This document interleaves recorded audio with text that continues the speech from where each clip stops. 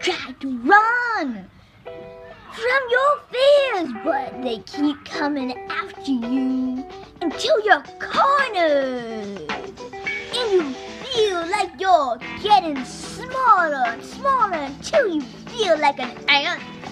But you can stop your fears and get up.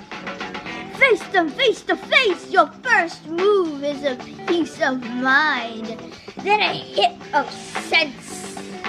Yeah, you heard me, a hit of sense and some mind. You could try to run, but they keep following you.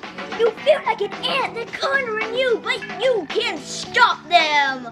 I'm telling you, no matter what, you have the power. All you need is a peace of mind and a hit of sense. And they're out of the ring. You could stop your fears with a hit of mind and a piece of sense, or a hit a piece of sense. A hit a piece of mind. A hit of sense is all you need.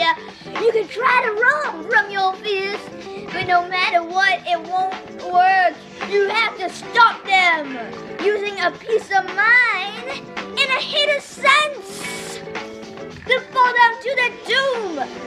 thing stopping you is you. There's nothing to fear but fear itself, as you know.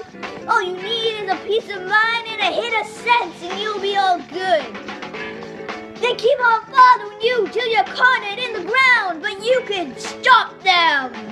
There's only two simple things you need. It's a peace of mind and a hit of sense.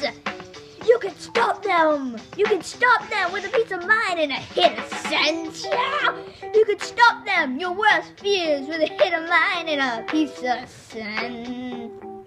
Oh yeah, hit it. Oh yeah, you it. And a piece of mind and a hit of sense is all you need.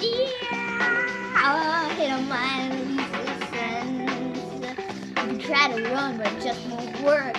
You need to you need to face them face to face with a piece of mind and a hit of sense. and